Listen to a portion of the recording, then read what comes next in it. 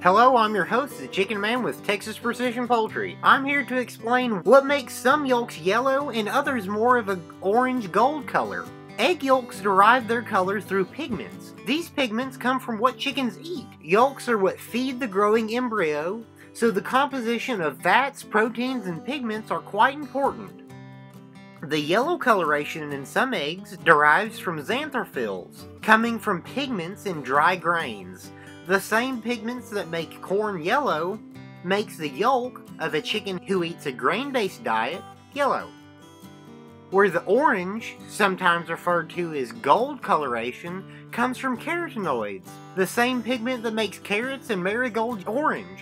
A hen who eats a lot of green material, such as grasses, forage, and garden scraps, will produce an orange yolked egg, coming from the carotenoids in the fresh plant material. Some feed mills will use marigold extract or dried and crushed marigold flowers in the feed to get a similar effect. Many companies in Latin America will do this in order to meet the demand for orange yolked eggs. So there is a real difference in color when you compare store-bought eggs to eggs straight out of the field. There is also a nutritional difference as well, but that will have to wait for another video. That wraps it up. If you have any questions, leave it down in the comment section. Don't forget to check out our social media accounts. Links are in the description below. Like the video and subscribe. I've been the Chicken Man with Texas Precision Poultry. For now, I bid you farewell and encourage all to keep your hens happy and healthy.